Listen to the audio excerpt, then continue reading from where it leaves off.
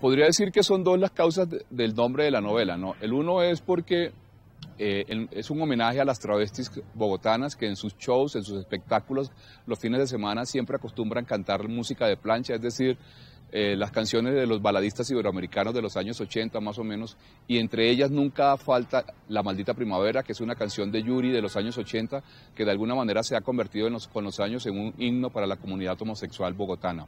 La segunda razón es porque de alguna manera la canción refleja o narra la historia de Edwin Rodríguez, que es alguien que todo el tiempo está buscando el amor y en la medida en que lo encuentre todo el tiempo lo está abandonando. Señal Memoria, imágenes y sonidos para la historia.